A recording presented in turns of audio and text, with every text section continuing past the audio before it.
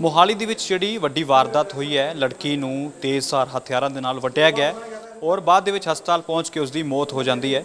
ਔਰ ਸਾਡੇ ਨਾਲ senior doctor H S Cheema ਨੇ ਗੱਲਬਾਤ ਕਰਦੇ ਡਾਕਟਰ ਸਾਹਿਬ, ਹਾਲਾਤ ਕੀ ਸੀ ਸਵੇਰ ਦੇ ਵਕਤ ਜਦੋਂ ਲੜਕੀ ਇੱਥੇ ਪਹੁੰਚੀ ਹੈ, ਉਦੋਂ ਕੀ ਹਾਲਾਤ ਸੀ ਉਹਦੇ? ਇੱਥੇ ਸਾਡੇ ਕੋਲ ਤੇ ਬ੍ਰੌਡ ਡੈਡੀ ਰਿਸੀਵ ਹੋਈ ਹੈ, ਤਕਰੀਬਨ 9:04 ਮਿੰਟ ਤੇ ਆਈ ਸੀ ਸਾਡੇ ਕੋਲੇ। ਤੇ ਬ੍ਰੌਡ ਡੈਡੀ ਆਈ ਸੀ ਮਲਟੀਪਲ ਇੰਜਰੀਜ਼ ਦੇ ਨਾਲ। ਹੁਣ ਪੋਸਟਮਾਰਟਮ ਦਾ ਪ੍ਰੋਸੈਸ ਚੱਲ ਰਿਹਾ। ਜਦੋਂ ਪੋਸਟਮਾਰਟਮ ਕੰਪਲੀਟ ਹੋਏਗਾ, ਉਸ ਤੋਂ ਬਾਅਦ ਐਗਜ਼ੈਕਟ ਪਤਾ ਲੱਗੇਗਾ ਵੀ ਇੰਜਰੀਜ਼ ਕਿੰਨੀਆਂ ਸੀ ਤੇ ਕਿੱਥੇ ਕਿੱਥੇ ਸੀ। ਜੋ ਅਸੀਂ ਪ੍ਰੀਲਿਮਿਨਰੀ ਦੇਖਿਆ ਸੀ, ਉਹਦੇ 'ਚ ਤਾਂ ਸਿਰ 'ਚ ਸੱਟਾਂ, ਸਿਰ 'ਚ ਮਾਰੀਆਂ ਸੀ ਤੇ ਉਹਨੇ ਬਾਹਾਂ ਦੋਵਾਂ ਦਿੱਤੇ ਕਾਫੀ ਜ਼ਿਆਦਾ ਇੰਜਰੀਜ਼ ਸੀ।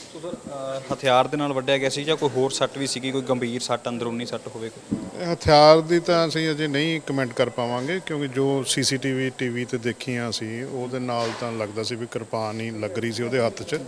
ਪਰ ਜਿੰਨੀ ਦੇਰ ਤੱਕ ਪੋਸਟਮਾਰਟਮ ਨਹੀਂ ਆ ਜਾਂਦਾ ਉਨੀ ਦੇਰ ਤੱਕ ਵੈਪਨ ਡਿਸਕ੍ਰਾਈਬ ਕਰਨਾ ਮੁਸ਼ਕਲ ਹੈ। ਕਿੰਨਾ ਕੁ ਸਮਾਂ ਅ, ਜਿਹੜਾ ਪੋਸਟਮਾਰਟਮ ਲੱਗੇਗਾ ਉਹਦੇ ਬਾਅਦ ਹੀ ਸਾਰਾ ਕਲੀਅਰ ਹੋਵੇਗਾ ਇਸ ਦੇ ਵਿੱਚ। ਪੁਲਿਸ ਵਾਲੇ ਜਦੋਂ ਤੱਕ ਪੇਪਰਸ ਲੈ ਕੇ ਆਣਗੇ ਤੇ ਪੋਸਟਮਾਰਟਮ ਉਸ ਤੋਂ ਬਾਅਦ ਇਮੀਡੀਏਟਲੀ ਸ਼ੁਰੂ ਹੋ ਜਾਏਗਾ ਟੀਮ ਰੈਡੀ ਹੈ already postmortem doctor B R Ambedkar medical college ਦੇ ਡਿਪਾਰਟਮੈਂਟ ਆਫ ਫੋਰੈਂਸਿਕ ਨੇ ਕਰਨਾ ਹੈ। ਉਹ ਤਿਆਰ ਬੈਠੇ ਆ ਬਸ ਪੇਪਰਸ ਦੀ ਵੇਟ ਕਰ ਰਹੇ ਸ਼ਾਇਦ। ਧੰਨਵਾਦ ਸੀਨੀਅਰ ਡਾਕਟਰ ਸੀਗੇ ਸਾਡੇ ਨਾਲ ਕਿਉਂਕਿ ਹਾਲਾਤ ਜਿਹੜੇ ਸੀ ਅ, ਕਾਫੀ ਉਸ ਸਮੇਂ ਗੰਭੀਰ ਦੱਸੀ ਜਾ ਰਿਹਾ ਕਿਉਂਕਿ ਸਿੱਧੇ ਤੌਰ ਦੇ ਉੱਪਰ ਜਦੋਂ ਅ, ਫੱਟ ਮਾਰੇ ਗਏ ਤੇਜ਼ਧਾਰ ਹਥਿਆਰ ਦੇ ਤਾਂ ਉਸ ਤੋਂ ਬਾਅਦ ਉਸ ਨੂੰ ਹਸਪਤਾਲ ਲੈ ਕੇ ਜਾਂਦਾ। ਡਾਕਟਰ ਦਾ ਹਲ- ਕਹਿਣਾ ਹੈ ਕਿ ਪਹਿਲਾਂ ਤੋਂ ਹੀ ਗੰਭੀਰ ਸੀ ਹਾਲਾਤ ਔਰ ਬਰੋਡਰ ਡੈਡ ਸੀਗੀ ਜਦੋਂ ਲੜਕੀ ਹਸਪਤਾਲ ਪਹੁੰਚੀ ਹੈ। ਤਾਂ ਹਸਪਤਾਲ ਪਹੁੰਚ ਕੇ ਉਸ ਦੀ ਮੌਤ ਹੋ ਜਾਂਦੀ ਹੈ। ਮੋਹਾਲੀ ਦੇ ਵਿੱਚ ਜਿਹੜੀ ਵੱਡੀ ਵਾਰਦਾਤ ਹੋਈ ਹੈ, ਲੜਕੀ ਨੂੰ ਤੇਜ਼ਧਾਰ ਹਥਿਆਰਾਂ ਦੇ ਨਾਲ ਵੱਢਿਆ ਗਿਆ ਔਰ ਬਾਅਦ ਦੇ ਵਿੱਚ ਹਸਪਤਾਲ ਪਹੁੰਚ ਕੇ ਉਸ ਦੀ ਮੌਤ ਹੋ ਜਾਂਦੀ ਹੈ।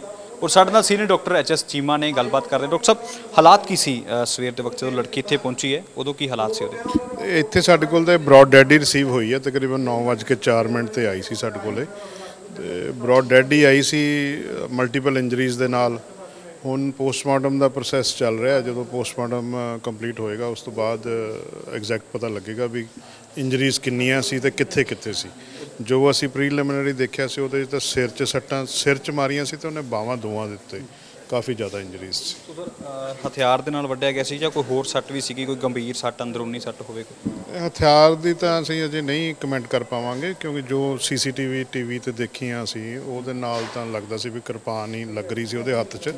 ਪਰ ਅਹ, ਜਿੰਨੀ ਦੇਰ ਤੱਕ ਪੋਸਟਮਾਰਟਮ ਨਹੀਂ ਆ ਜਾਂਦਾ ਉਨੀ ਦੇਰ ਤੱਕ ਵੈਪਨ ਡਿਸਕ੍ਰਾਈਬ ਕਰਨਾ ਮੁਸ਼ਕਲ ਹੈ। ਸਰ ਹੁਣ ਕਿੰਨਾ ਕੁ ਸਮਾਂ ਅ, ਜਿਹੜਾ ਪੋਸਟਮਾਰਟਮ ਲੱਗੇਗਾ ਉਹਦੇ ਬਾਅਦ ਹੀ ਸਾਰਾ ਕਲੀਅਰ ਹੋਵੇਗਾ ਇਸ ਦੇ ਵਿੱਚ? ਪੁਲਿਸ ਵਾਲੇ ਜਦੋਂ ਤੱਕ ਪੇਪਰਸ ਲੈ ਕੇ ਆਣਗੇ ਤੇ ਪੋਸਟਮਾਰਟਮ ਉਸ ਤੋਂ ਬਾਅਦ ਇਮੀਡੀਏਟਲੀ ਸ਼ੁਰੂ ਹੋ ਜਾਏਗਾ ਟੀਮ ਰੈਡੀ ਹੈ already postmortem doctor B R Ambedkar medical college ਦੇ ਡਿਪਾਰਟਮੈਂਟ ਆਫ ਫੋਰੈਂਸਿਕ ਨੇ ਕਰਨਾ ਹੈ। ਤੇ ਉਹ ਤਿਆਰ ਬੈਠੇ ਆ ਬਸ ਪੇਪਰਸ ਦੀ ਵੇਟ ਕਰ ਰਹੇ ਸ਼ਾਇਦ।